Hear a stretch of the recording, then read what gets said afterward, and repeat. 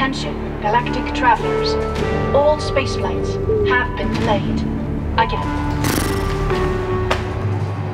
We've all been there. You book a million dollar seat on a spaceship, get all dressed up for a 15 minute space vacation, then your spaceflight gets delayed. But did you know there's an out of this world experience that's a lot closer? Doesn't cost millions of dollars and has oxygen? Right here. In Iceland. In Iceland. In Iceland. In Iceland. Look at these lunar landscapes.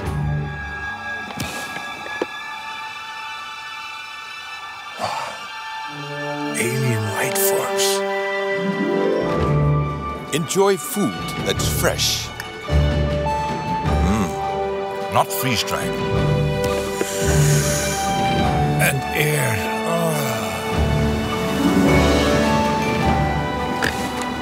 In many ways, Iceland is a lot like Mars. If Mars had hot tubs, Isn't he funny? So, space tourists, you could keep waiting for a trip to an endless void, or you could just come to Iceland. And if you already made it to space, just look out for our billboard.